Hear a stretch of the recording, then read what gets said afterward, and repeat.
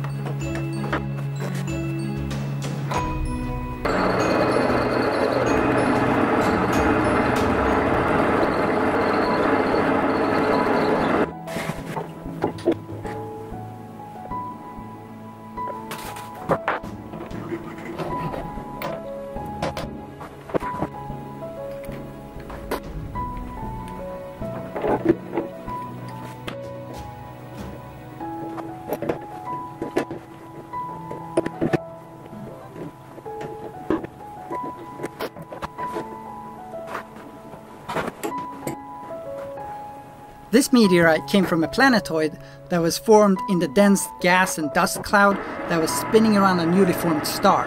That star we now call the Sun.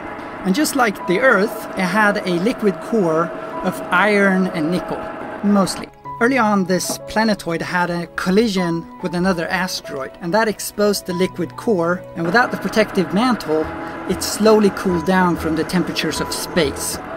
One to two million years later, it had cooled down to under 300 degrees Celsius, and that happened 4,565.3 million years ago.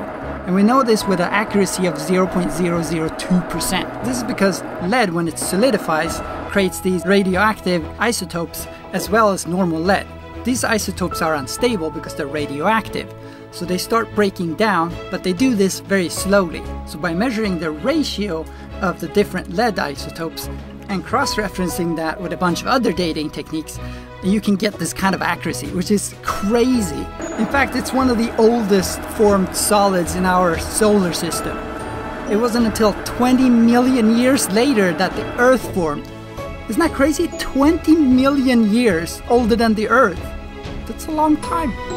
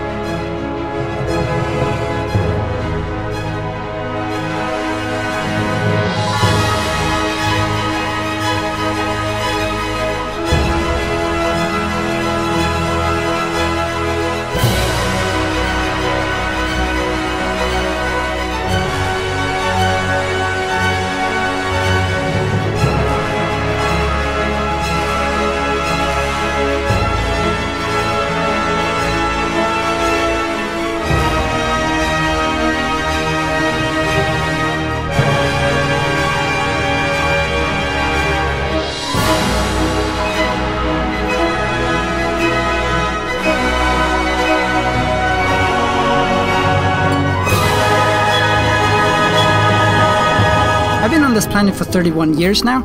I'm 0.0000007% as old as this thing, which is 7 millionth of a percent as old as this thing is.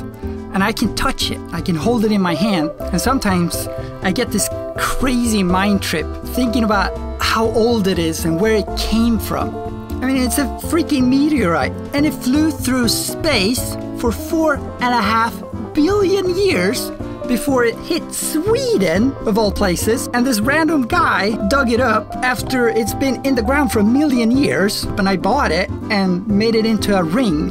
And it's really cool because I carry it with me everywhere. And when I meet someone that's even vaguely interested, I hand it to them and say, This thing is the oldest thing you will ever touch. It's 20 million years older than the Earth. And they go like, what? And I'm like, yeah. And then you tell them the whole story of where it came from. And it blows their freaking minds. Oh, it's so awesome. I'm so glad that I made this. And this one even has impurities in it that makes these round patterns, which looks amazing too. I'm so happy. So hit that thumbs up and uh, send this video to someone that you think will uh, want a mun trip like Cray Craig. Subscribe while you're at it. Thank you very much. See you next time.